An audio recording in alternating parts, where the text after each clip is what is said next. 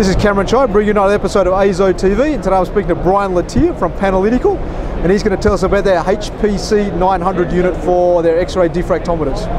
Hi Cameron. So I'm here today to talk to you about our new stage from Anton Paar called the HPC 900. It's a high pressure chamber allowing you to go up to 100 atmospheres of pressure with hydrogen or other gases while also going at a temperature up to 900 degrees Celsius. The chamber itself comes from Anton Paar. We'll integrate that with our data collection software on either the X'Pert Powder platform or our Empyrean X-ray diffraction platform. On the HPC 900, this is just an image of the actual sample stage itself or sample holder. We'll mount a specific sample holder design here with a small little cavity that sits on the main post. You have multiple O-rings to make sure you're insealing a, the, uh, the pressure seal for the chamber. This will load from the bottom of the chamber, has two guide rails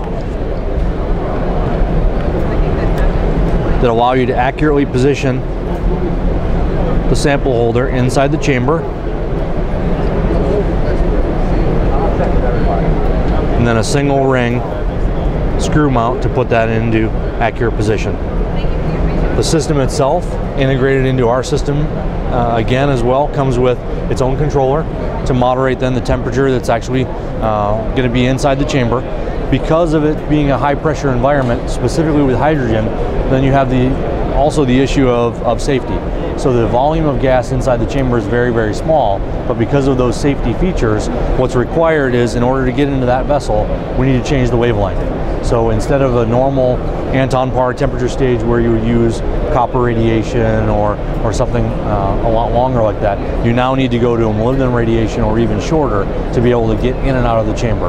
But for looking at uh, fuel cells, for example, or other advanced materials applications in situ, which is where a lot of the customers really see seem the, the drive for research, this is a fantastic addition for us to our product portfolio, having the Anton Paar stage uh, here to be able to display here at Pittcon. And being able to do it all in one unit, does that that that provides a shortcut or a, a shorter way of doing the analysis for people who would have perhaps had to do it in several stages before? Exactly. What it really does is it allows people with their research to be able to examine materials undergoing phase transformations or changes of the material in the actual environment itself.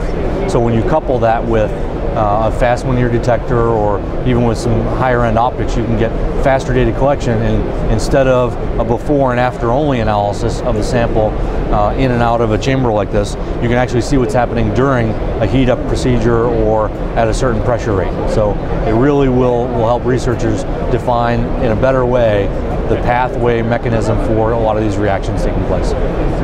And the HPC 900 is compatible with both your X'Pert powder and Empyrean systems? It is, absolutely. So we have, have partnered with Anton Paar for years now in terms of providing their uh, high and low non-ambient stages uh, on our platforms because we feel that Anton Paar makes the best uh, X-ray uh, temperature equipment out there. We like to couple that with our system, uh, really relying on them for a lot of the research. And uh, while our customers have their own research they're trying to do with X-rays, Anton Paar is filling the gap by providing them more and more capabilities to do with our equipment.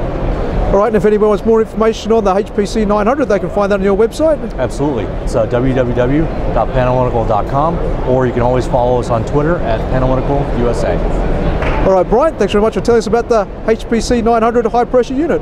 You're welcome. Thank you.